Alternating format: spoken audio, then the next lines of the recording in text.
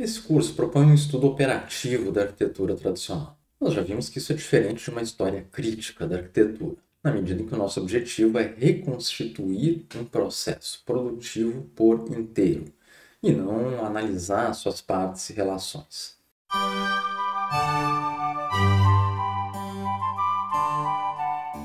Esse objetivo implica que a arquitetura tradicional é, primeiro, um conjunto de algum modo coerente e, segundo, algo que existe em contraste com a arquitetura moderna. Essas duas afirmações têm um quê de óbvio quando nós olhamos para alguma intervenção moderna numa cidade tradicional. Por outro lado, ela também tem um quê de absurdo quando nós olhamos para a arquitetura como parte de um processo histórico que não tem um ponto de corte nítido entre tradição e modernidade. Para nós podermos decidir entre o óbvio e o absurdo, nós vamos explorar duas categorias de argumentos. Uma que olha para o estilo arquitetônico como um indicador de continuidade ou ruptura, e outra que trata dos processos produtivos da arquitetura. A busca pelo limite entre tradição e modernidade vai nos levar até o começo do século XX. E, finalmente, nós vamos buscar alguns princípios gerais que distinguem a construção tradicional da construção moderna. Pelo menos desde o início do século XVIII, o estudo da história no Ocidente tem uma relação de amor e ódio com a classificação das sociedades do passado e do presente em caixas rotuladas como períodos, culturas ou estilos. No século XIX e XX, essa rotulagem em períodos demarcados com uma nitidez bem forçada foi uma componente central em todas as escolas historiográficas da Europa continental, do positivismo ao marxismo. Essa rotulagem parte do princípio de que todos os períodos históricos são entidades totalmente diferentes e incomensuráveis entre si.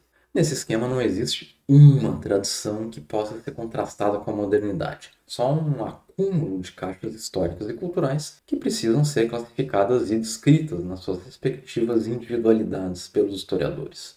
Na história da arquitetura, a situação era um pouco diferente. Havia um senso de continuidade do presente com o passado que se baseava sobretudo no uso dos estilos neorrenascentistas e neomedievais. Para os arquitetos do século XIX, da primeira metade do século XX, o que se chamava de história da arquitetura era um processo gradual de desenvolvimento dos estilos, quase que sem grandes rupturas. Todas as caixas de estilos do passado eram um acervo disponível, por assim dizer, para servir como exemplo e inspiração. A epítome dessas infinitas possibilidades é uma mansão construída a partir de 1919 pela arquiteta americana Julia Morgan, essa mansão, que era a residência do magnata da imprensa William Randolph Hearst, combina vários estilos de inspiração espanhola, desde o gótico até o barroco, e vai ter inclusive obras de arte originais desse período que foram levadas da Europa para a Califórnia. Jean-Nicolas Louis Durand, Nicolas para os íntimos, que foi professor de projeto na Escola Politécnica de Paris no começo do século XIX, defendia essa unidade entre o presente e o passado. Ele demonstrou essa percepção de unidade publicando uma espécie de apostila para uso dos seus alunos. O livro do Duran apresentava galerias e mais galerias de edifícios com função semelhante, mas de épocas e lugares diversos. Esses edifícios semelhantes eram reunidos numa mesma prancha e desenhados na mesma escala para serem usados como repertório de projeto. Esse modo de pensar a história da arquitetura como um repertório de estilos de todas as épocas para uso do projeto é conhecido como arquitetura analítica, porque o universo do repertório era estudado, por assim dizer, desmanchado, para ser então recombinado em soluções novas, nunca repetitivas, mas sempre em harmonia com o que se entendia ser o desenvolvimento do estilo. A arquitetura analítica, segundo o método do Duran, vai ser uma das bases do ensino de arquitetura nas academias de arte que seguiam o modelo da École des Beaux-Arts em Paris. Por isso, esse método é conhecido como acadêmico ou como método Beaux-Arts. Os levantamentos analíticos enviados pelos bolsistas da Academia da França em Roma nos séculos XIX e XX estão entre os documentos mais precisos e mais úteis para quem estuda arquitetura clássica. Então, o valor desse método é inestimável, tanto do ponto de vista operativo quanto do ponto de vista histórico. Então, será que o estilo é a chave para compreender a unidade da arquitetura tradicional? Não tão rápido. A capacidade do método acadêmico de manipular uma variedade de estilos representa, sem dúvida, uma vontade de demonstrar a continuidade com as tradições. Essa vontade vai garantir a harmonia visual de cidades do século XIX, mesmo diante da modernização tecnológica muito intensa. As ruas de Paris parecem uma paisagem harmoniosa e coerente hoje em dia, justamente porque elas são o resultado de séculos de normas urbanísticas e de esforços dos construtores, tudo no sentido de se harmonizar com as construções pré-existentes. Mesmo assim, o ideal de unidade da arquitetura de todas as épocas, graças à continuidade do estilo, já tinha começado a se esgarçar mesmo dentro do próprio método acadêmico. De fato, o estudo da arquitetura analítica tinha uma aporia central. Quanto mais os arquitetos estudavam as construções do passado pela lente da continuidade do estilo, mais ficavam evidentes as descontinuidades entre períodos que supostamente pertenciam à mesma tradição clássica.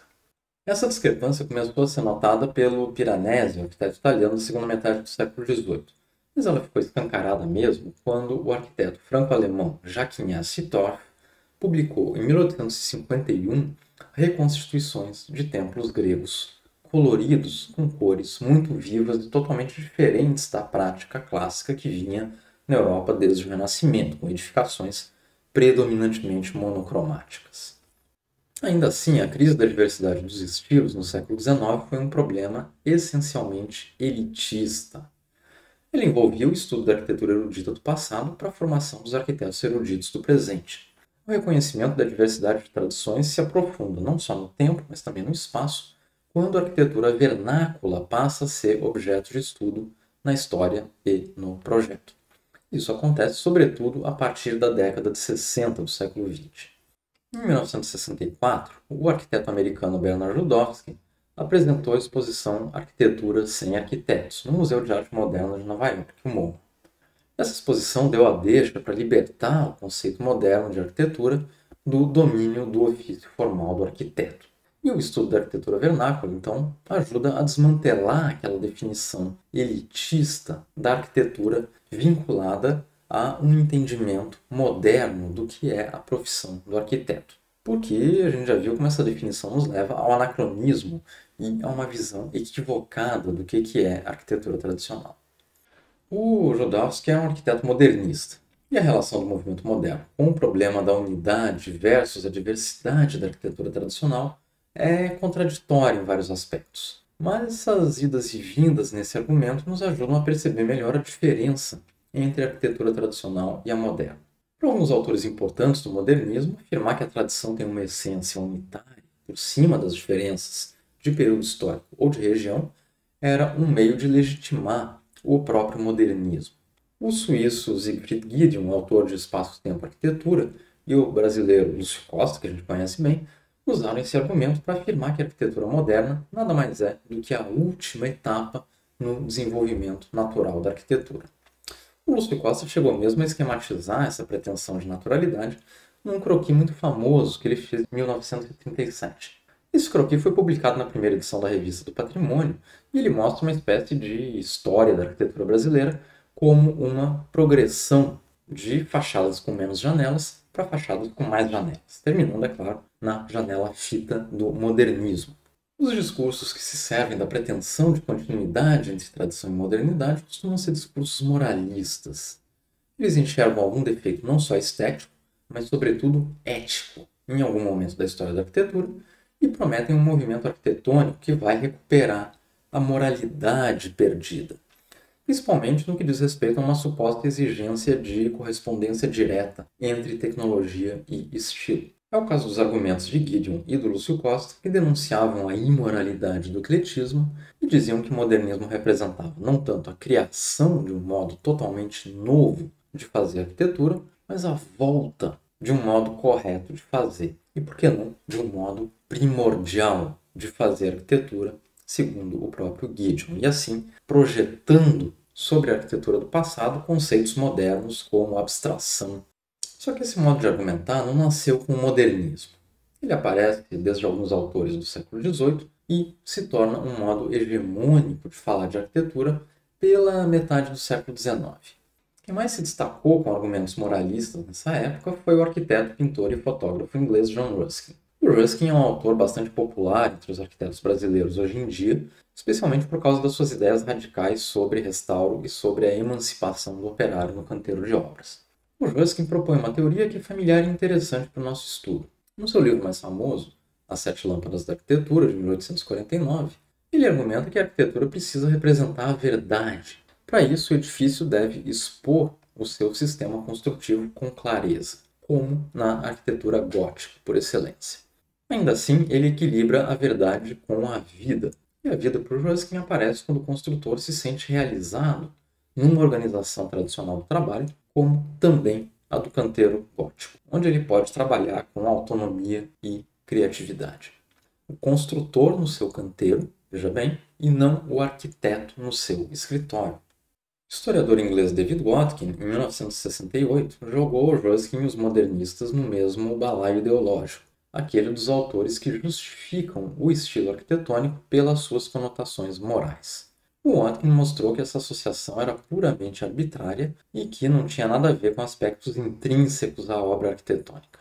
O que o Watkin tinha em mente nessa discussão era uma definição de arquitetura enquanto prática profissional. A única coisa que o estilo representa, desse ponto de vista, é o próprio estilo, assim como a prática dos diferentes ofícios da construção, do pedreiro ao arquiteto, exprime o lugar dessas práticas no processo produtivo da arquitetura e uma coisa não representa a outra. O estilo não representa visualmente um modo de fazer arquitetura, e a rigor, qualquer modo de produzir as construções pode ser vestido com qualquer estilo. O ecletismo é exatamente essa possibilidade de vestir a arquitetura com qualquer estilo histórico. Mas nós também temos exemplos onde uma estética modernista veste uma construção tecnologicamente atrasada, entre aspas. É o caso da residência projetada pelo arquiteto Gregory Warszawski na Vila Mariana, em São Paulo. A ironia dessa chamada casa modernista de Warszawski não é, talvez, tanto que ela tenta disfarçar uma construção tradicional com telhado cerâmico, paredes portantes e fazer de conta que a gente tem uma cobertura plana ou que a gente tem janelas fita. A ironia é que a própria existência dessa casa demonstra alguma continuidade entre o processo construtivo que está por trás dos estilos ecléticos e, por outro lado, as demandas estéticas do modernismo. Essa continuidade dá razão, pelo menos em parte, ao Ruskin, quando ele afirma que o processo construtivo é um fator determinante para caracterizar a arquitetura. Com esse conflito entre uma descrição da arquitetura baseada em estilos e outra baseada no processo produtivo, nós vamos enfim conseguir distinguir a arquitetura tradicional da arquitetura moderna na sequência. Bom, agora nós já temos duas categorias de argumentos discutindo a descontinuidade entre a arquitetura tradicional e moderna. A primeira categoria se concentra nas diferenças de estilo. Ela tenta mostrar que cada período histórico, com seu estilo característico, é uma singularidade absolutamente inconciliável com qualquer outro período e estilo. Desse ponto de vista, não existe continuidade entre o tradicional e o moderno, claro, mas tampouco existe uma única arquitetura tradicional. Já a segunda categoria se concentra nas diferenças de processo produtivo. Ela prioriza uma clivagem fundamental entre a construção artesanal das tradições e a construção moderna, que separa a concepção da execução e, no fim da linha, atomiza ao extremo o próprio processo produtivo da obra.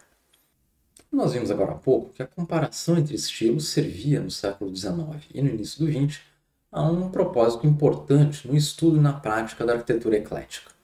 Apesar de a arquitetura analítica acabar mostrando a diversidade quase infinita de tradições arquitetônicas, ela consegue conciliar essa diversidade num repertório estruturado, o ecletismo consegue acomodar a diversidade de estilos muito além do cânone europeu e, inclusive, separar o estilo das outras características da edificação, a construção e a espacialidade.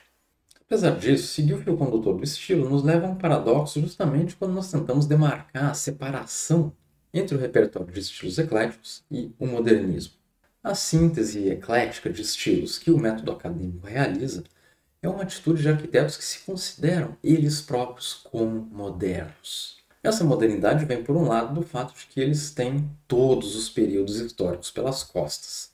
Por outro lado, a modernidade do academicismo também está nos recursos técnicos e, sobretudo, críticos, que estão ao alcance dos arquitetos ecléticos. A metodologia arqueológica e historiográfica que permite não só reconstituir, mas também organizar e relacionar os estilos históricos entre si.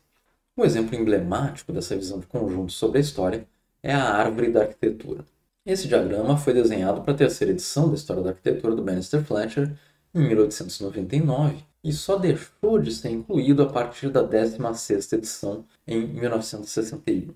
A capacidade que o ecletismo tem de trabalhar com as tradições estéticas de todo o mundo e de todos os tempos é resultado precisamente da sua própria modernidade. E para completar o paradoxo, apesar de o modernismo rejeitar ideologicamente a estética do ecletismo acadêmico, do ponto de vista dos processos produtivos da arquitetura, ou seja, as tecnologias e as instituições, inclusive as de ensino, que produzem construções e produzem arquitetos, o modernismo é uma continuação do sistema Beaux-Arts com muito pouca ruptura. Um exemplo dessa continuidade tecnológica é o edifício acadêmico do Grand Central Terminal em Nova York, que foi construído na primeira década do século XX.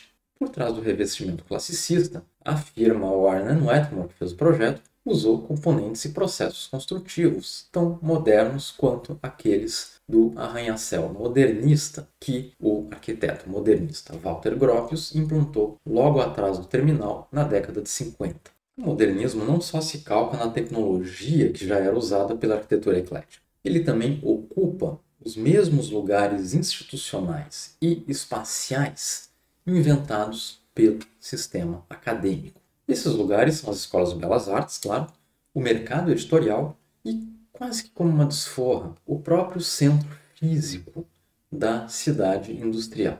Le Corbusier não podia se contentar em propor a sociedade contemporânea no meio de uma área aparentemente vazia. Ele precisava inserir um trecho do seu plano Voisin em pleno centro histórico de Paris. A afirmação da legitimidade do modernismo como sucessor da arquitetura tradicional depende dessa tomada de posse simbólica da cidade existente. É sintomático que o plano Voisin não pretendesse substituir, por exemplo, a arquitetura eclética que o Le Corbusier desprezava tanto e que ocupava sobretudo os novos bulevares na periferia de Paris. Em vez disso, o modernista propõe eviscerar a mesma área do centro histórico que já estava na mira dos projetos de saneamento do século XIX. Esses mesmos projetos que resultaram na abertura das avenidas que o Le Corbusier ridicularizava por serem grafismos geométricos sem sentido. O historiador da literatura Hans Robert Jauss se apoia no poeta francês do século XIX Charles Baudelaire contemporâneo das avenidas de Paris, e no filósofo alemão do século XX Walter Benjamin, contemporâneo do Le Corbusier, para defender essa posição. O Jauss sustenta que a capacidade de classificar e apreciar a arte de outros períodos históricos e culturas é uma característica da modernidade como um todo, incluindo tanto o método acadêmico quanto as vanguardas modernistas. Outros aspectos mais materiais também aproximam o modernismo do ecletismo acadêmico. Além da continuidade tecnológica, o modernismo se insere nas estruturas de financiamento e do poder político que antes promoviam o ecletismo.